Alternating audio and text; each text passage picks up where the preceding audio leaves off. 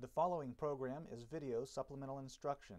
VSI is brought to you by the Teaching Center, UF's Learning Support Center, www.teachingcenter.ufl.edu.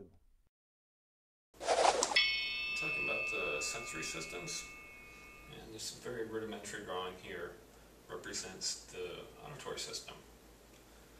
The most important thing here is the way that the different frequencies of sounds are detected in the cochlea.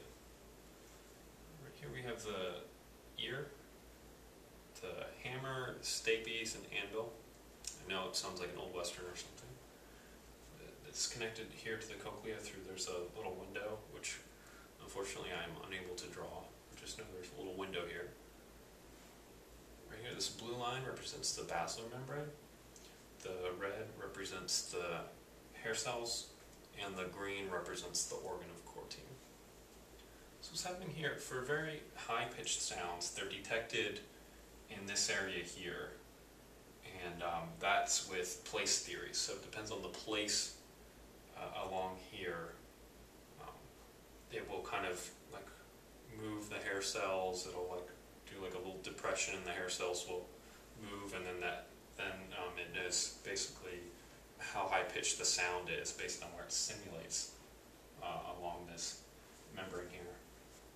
Um, so higher pitched to lower pitched. And then um, for very low pitched sounds, it actually doesn't stimulate any portion of this.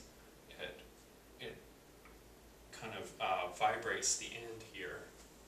And um, based on how fat, uh, the frequency of the vibrations here, then that um, determines how low the pitch is. And that's with frequency matching theory. The Teaching Center, UF's Learning Support Center, www.teachingcenter.ufl.edu.